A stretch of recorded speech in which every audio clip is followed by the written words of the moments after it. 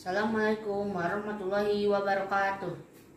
Yang terhormat Bapak Kepala Sekolah, Bapak dan Ibu Guru, serta teman-teman yang saya sayangi.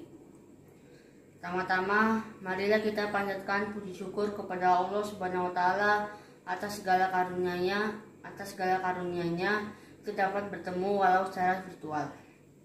Pada kesempatan kali ini, saya akan menyampaikan pidato tentang memperingati Hari Kemerdekaan Indonesia ke-75 di tengah pandemi COVID-19 ini. ulang tahun Indonesia yang ke-75 ini sangatlah berbeda pada tahun-tahun sebelumnya. Pada tahun ini, kemeriahan lebih banyak dilakukan secara virtual. Hal ini dikarenakan pandemi COVID-19 yang sedang melanda Indonesia. Upacara kemerdekaan di sana negara dilakukan secara sederhana. Jumlah peserta dibatasi dan disiarkan online. Agenda rutin tahunan berupa karnaval atau pawai dijadakan tahun ini. Hal ini dimaksud, dimaksudkan untuk mengurangi penyebaran COVID-19 di Indonesia.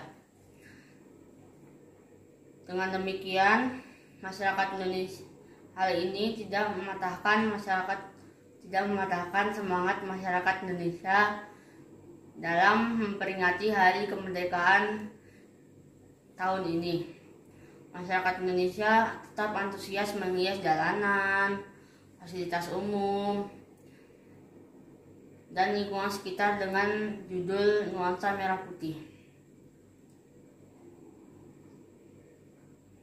Masyarakat Indonesia bisa melihat, bisa menyaksikan secara virtual jalannya upacara kemerdekaan Indonesia di sana negara.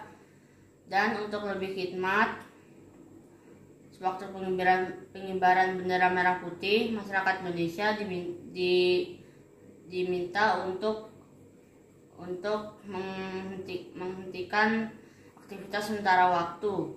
Sambil berdiri tegak dan hormat serta turut menyanyikan lagu kebangsaan Indonesia Raya. Sebagai masyarakat Indonesia, masih ada yang merayakan kemerdekaan secara konvensional berupa lomba-lomba.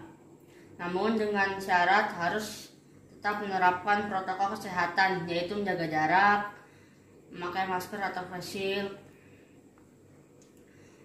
mencuci tangan sebelum dan sesudah acara lomba.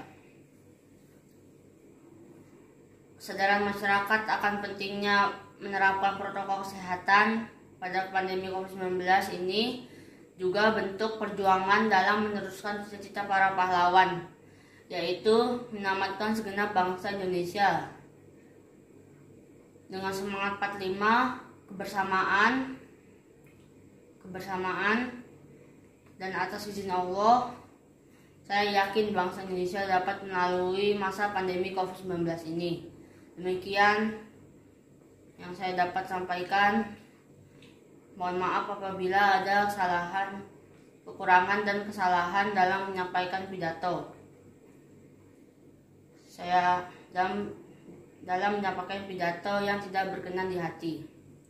Assalamualaikum warahmatullahi wabarakatuh.